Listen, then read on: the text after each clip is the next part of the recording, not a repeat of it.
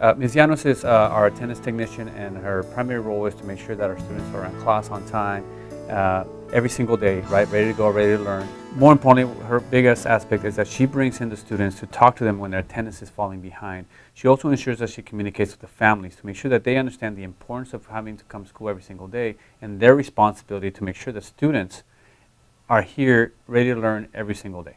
We can sit here all day talking about Estela, all the great things that she does, but something that really, really, really sticks to mind is that she really knows how to engage the students in terms of attendance. Not only she maintains records accurately, but also she engages them and she contributes to their social emotional well-being here at the school.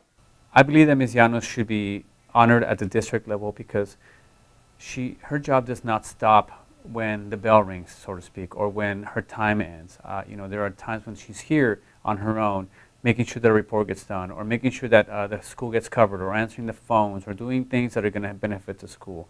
Uh, she's one of those employees that basically owns her responsibilities, uh, feels like this is her second home quite truly, uh, and goes above and beyond everything you're supposed to do. Uh, she's a great colleague, she's a great uh, teammate, and most importantly, she's a great friend. I'm more than thankful for receiving this honor.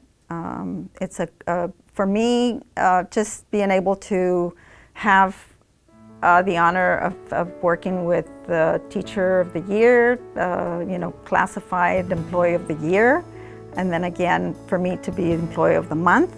Um, that speaks volume for McFadden and that's how um, that's how we roll here. That's how we work. We work happy, uh, professional, and uh, eager to come to work every day.